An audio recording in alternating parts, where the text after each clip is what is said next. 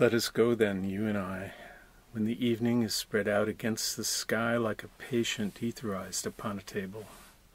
Let us go through certain half-deserted streets, the muttering retreats of restless nights and one-night cheap hotels, and sawdust restaurants with oyster shells, streets that follow like a tedious argument of insidious intent to lead you to an overwhelming question. Oh, do not ask what is it. Let us go and make our visit.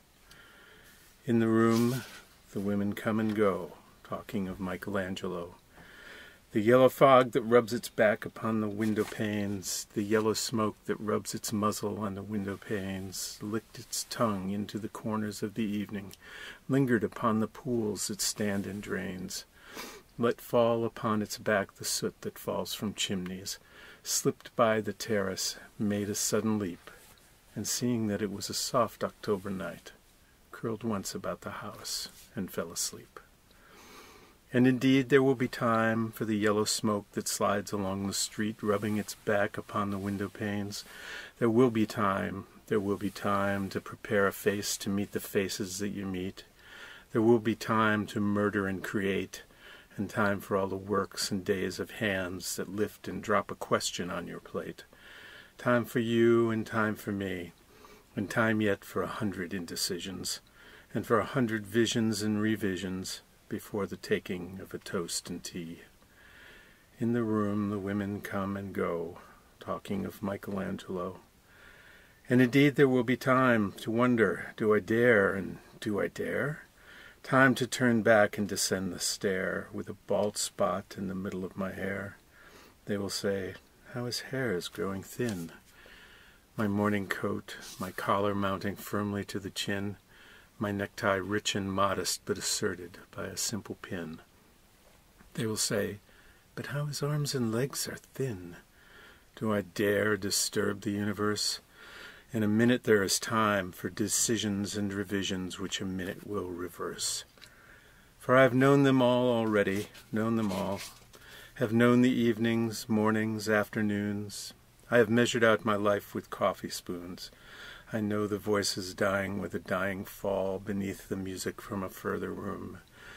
So how should I presume? And I have known the eyes already, known them all the eyes that fix you in a formulated phrase, and when I'm formulated, sprawling on a pin, when I'm pinned and wriggling on the wall, then how should I begin to spit out all the butt ends of my days and ways, and how should I presume? And I've known the arms already, known them all, arms that are braceleted in white and bare, but in the lamplight downed with light brown hair. Is it perfume from a dress that makes me so digress? Arms that lie along a table or wrap about a shawl, and should I then presume? And how should I begin? Shall I say I have gone at dusk through narrow streets and watched the smoke that rises from the pipes of lonely men in shirt sleeves leaning out of windows?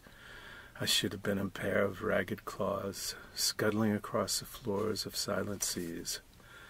And the afternoon, the evening, sleeps so peacefully, smoothed by long fingers, asleep, tired, or it malingers.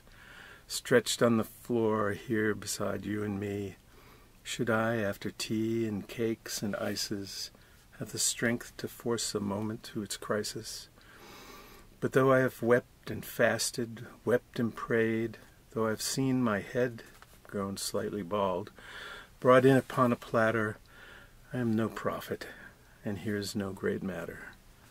I have seen the moment of my greatness flicker, and I have seen the eternal footman hold my coat and snicker, and in short, I was afraid. And would it have been worth it, after all, after the cups, the marmalade, the tea, among the porcelain, among some talk of you and me, would it have been worth while to have bitten off the matter with a smile, to have squeezed the universe into a ball, to roll it towards some overwhelming question, to say, I am Lazarus, come from the dead, come back to tell you all, I shall tell you all. If one settling a pillow by her head should say, That is not what I meant at all. That is not it at all. And would it have been worth it after all? Would it have been worthwhile after the sunsets and the dooryards and the sprinkled streets, after the novels, after the teacups, after the skirts that trail along the floor, and this, and so much more? Is it impossible to say just what I mean? But as if a magic lantern threw the nerves and patterns on a screen, would it have been worth while if one, settling a pillow or throwing off a shawl, and turning toward the window, should say, That is not it at all. That is not what I meant at all.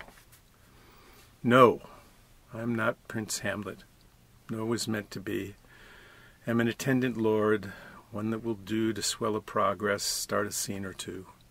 Advise the prince, no doubt an easy tool. Deferential, glad to be of use. Polite, politic, cautious and meticulous. Full of high sentence, but a bit obtuse. At times, indeed, almost ridiculous. Almost, at times, a fool. I grow old. I grow old. I shall wear the bottoms of my trousers rolled. Shall I part my hair behind? Do I dare to eat a peach? I shall wear white flannel trousers and walk upon the beach. I've heard there are mermaids singing, each to each.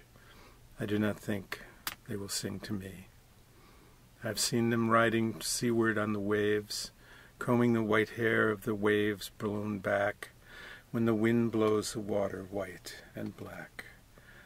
We have lingered in the chambers of the sea, by sea girls wreathed with seaweed red and brown, till human voices wake us, and we drown.